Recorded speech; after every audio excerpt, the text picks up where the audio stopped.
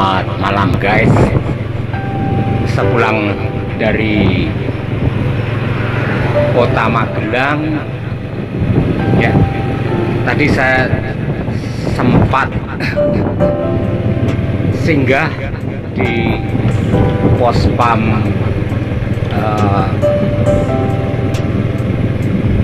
kantor kabupaten untuk pinjam karena eh, ketika mau merokok ternyata tidak ada korek ketinggalan dan pinjam di kantor. Eh, maksud saya di pos pam kabupaten. Bahkan tadi beberapa saat lalu ya Mbak Gemblung disuguhi kopi hitam kopi manis. Itu rezeki barokah. Rezeki ukurannya bukan cuma duit ya tetapi dapat secangkir kopi manis pun itu adalah rezeki yang wajib kita syukuri saya syukuri ya hidup memang harus punya goodwill niat baik. Dengan siapa saja serawung becik serawung ape sebagai uh, hablum minanas berhubungan baik dengan sesama manusia. Saat ini Mbak Gemblung melintasi jalan uh, Projonalan situasi sepi uh, saya melintasi penyewaan sepeda. Nah sekarang melintasi depan pondok tinggal.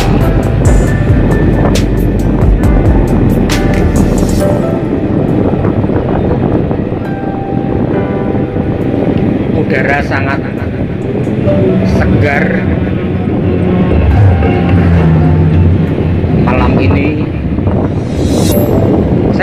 sekarang ini pukul berapa?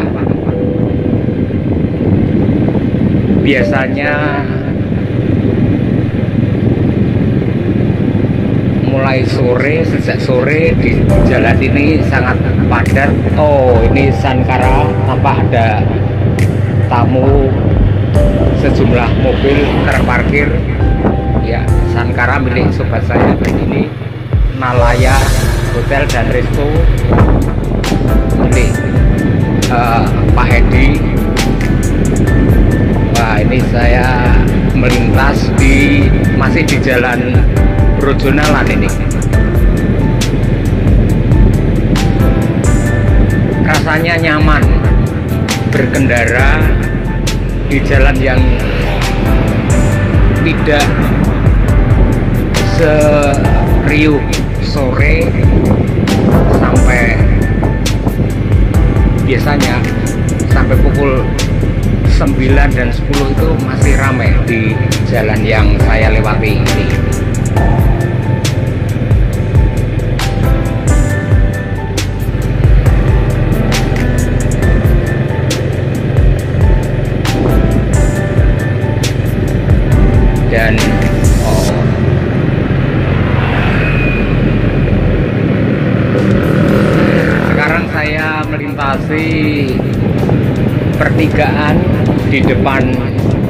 TWD Borobudur saya mengambil arah ke kiri. Nah, jalan yang saya lewati ini menuju Majaksingi akses jalan di Borobudur di mana-mana relatif baik meski ada beberapa jalan yang akses. Uh, jalannya rusak terutama yang masuk dusun-dusun. Di kanan kiri jalan yang saya lintas ini ada atau sudah terpasang lampu-lampu tetapi lampu ini tidak menyala tidak dinyalakan. Kalau dinyalakan oh betapa indahnya ya untuk menghemat energi dan lampu penerang jalan sudah cukup. Ini hanya waktu sore saja sampai pukul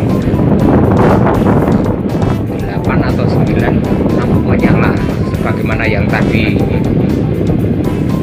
di pinggir jalan yang saya lintasi di Brusunalan nah sekarang saya tidak memasuki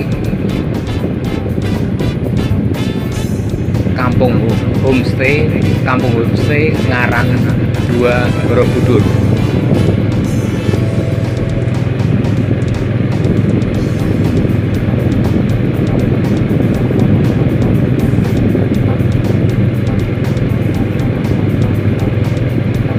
betapa nyaman ketika berkendara.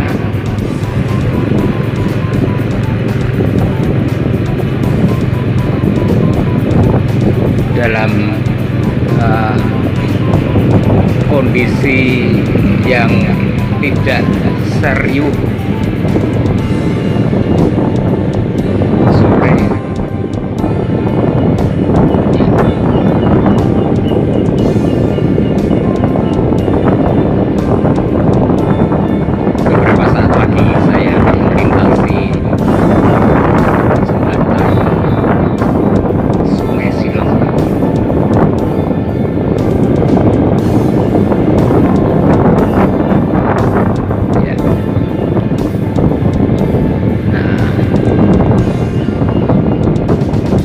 sebelah kanan. Jalan ya. Ini hotel dan kafe Kanaya ownernya eh, Bro Edi Sutrisno. Ya. sobat saya sobat sejak muda sama-sama beling waktu itu ya. Eh, Mas Edi Sutrisno itu mantan anggota dewan. Eh, kebetulan tadi siang saya juga eh, takziah ke tempat sobat juga namanya sama. Mas Edi Sutrisno yang tadi malam sekitar pukul 10 eh, wafat semoga arwahnya diterima di sisi Allah mendapat tempat yang terang dan lapang dan mendapat nikmat kubur semoga pula amal ibadahnya diterima Allah Subhanahu wa taala dan diampuni dosa-dosanya. Nah, viewer Nah, viewer saya ganti guys. Nah, ini saran dari Mas Ganjar Pranowo ketika saya bincang-bincang dengan beliau. Mas Ganjar menyarankan, "Halo, kayak Jakarta halo." Hai guys, waktu itu saya ngobrol dengan Mas Ganjar viewer gitu. Mas Ganjar menyarankan supaya saya bilang Hai guys. Hai guys. ya, saya mengikuti saran dari Mas Ganjar Pranowo. Oke viewer ya sekarang saya melintasi dusun atau desa Tuk Songo. Aroma tembakau terasa kuat sekali di sini. Pada jam-jam segini tembakau eh, di tembakau mulai dijemur ya setelah melewati perajangan dan sekarang ini saya berada di dekat rumah Mas Lurah Abdul Karim. Ada enggak nah, ini tampak ya kok nyantai-nyantai lagi? Oke oke. Wah, karo anan karo pacare ya. sehat mas. Nah ini tampak ibu-ibu sedang ngeler ngeler tembakau ini ya. Ngeler. Sehat toh, sami sehat bu? Alhamdulillah sehat itu penting ke kerja dijagi gitu. nah ini istilahnya lagi ngeler tembakau tembakau yang sudah dirajang kemudian diletakkan diratakan di atas rigen. Rigen bukan rigen rigen. Kalau rigen lah Ronald Reagan presiden Amerika. Nah, dan ini adalah ini jawara pencak silat dari Libanon. Jawa dan DIY Mboten adem napa kok ngrigo ngono. Oh, lulange lulang gajah, Mas. ini loh, ini memproduksi tembakau cap singo ya.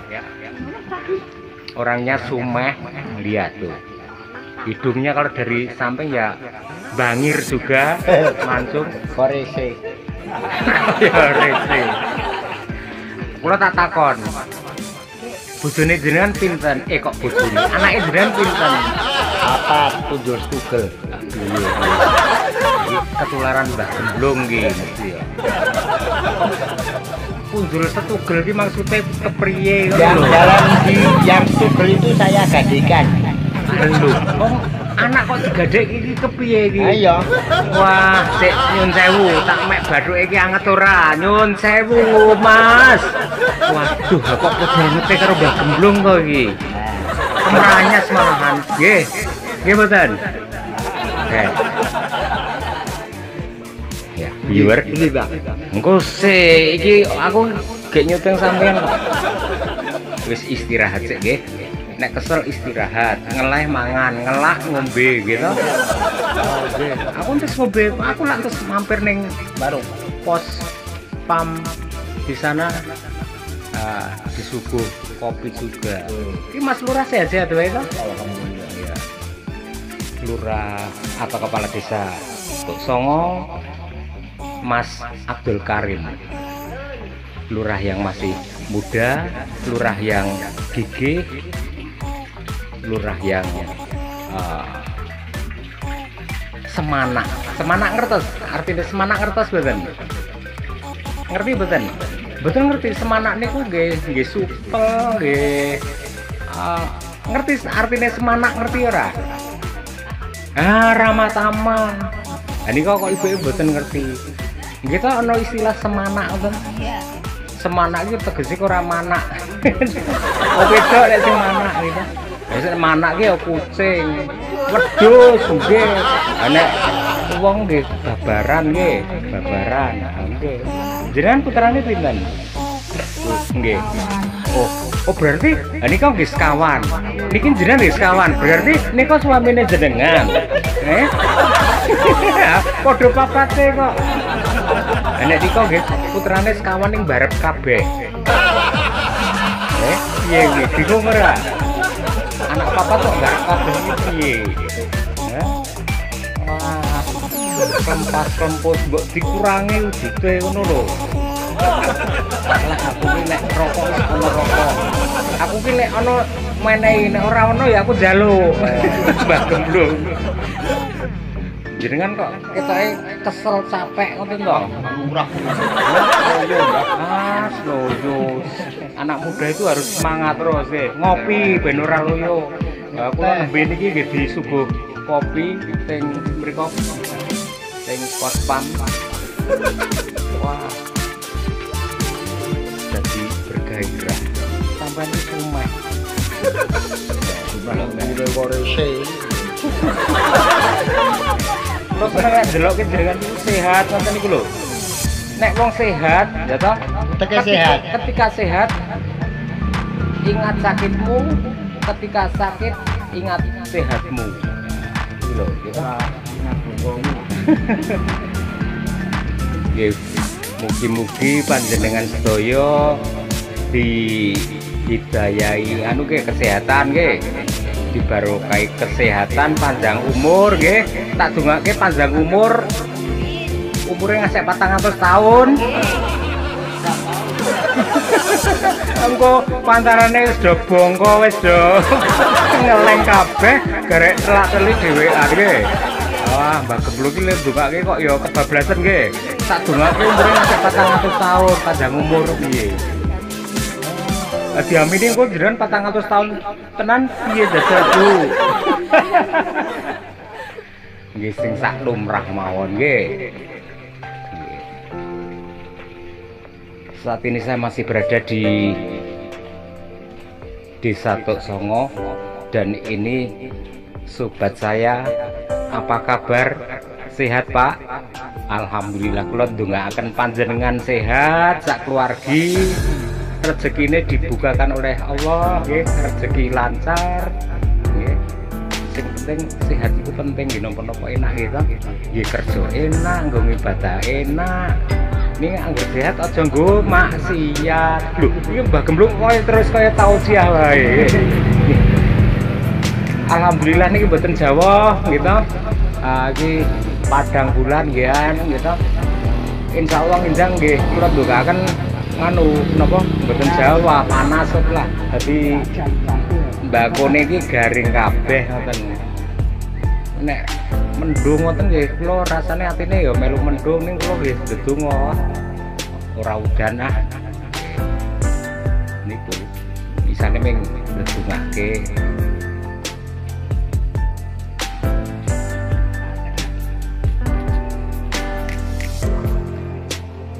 ketika musim tembakau di satu songo tidak pernah tidur.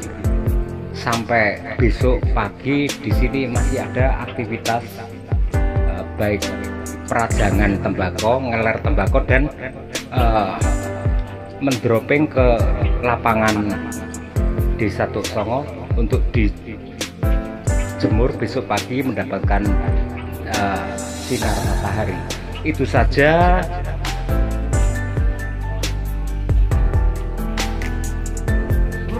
liputan suka-suka Mbak Gemblung. Tadi uh, motovlog ya dari depan sebelum jembatan Progo sampai di desa Tuk Songo. Untuk semua viewer yang masih mengikuti channel Poros Borobudur. Uh, pesan Mbah Gemblung jaga kerukunan di lingkungan masing-masing saling menghormati saling menghargai satu sama lain bertoleransi ya. saling tolong menolong itu penting. Orang yang berkelebihan uh, membantu orang yang kekurangan. Nah itulah. Itu kita akan jadi manusia sejati karena ajaran Rasulullah dilaksanakan ya. Hablum minanas ditingkatkan hablum minallah juga. Jadi kita sebagai umat muslim yang benar-benar takwa hubungan dengan sesama juga meningkat. Betapa indahnya hidup saling rukun saling menghargai saling uh, menghormati tolong menolong. Satu sama lain saling merasakan yang berkelebihan membantu yang kekurangan. Betapa hidup itu jadi indah di bumi Nusantara. Salam sehat tetap semangat dalam usaha apa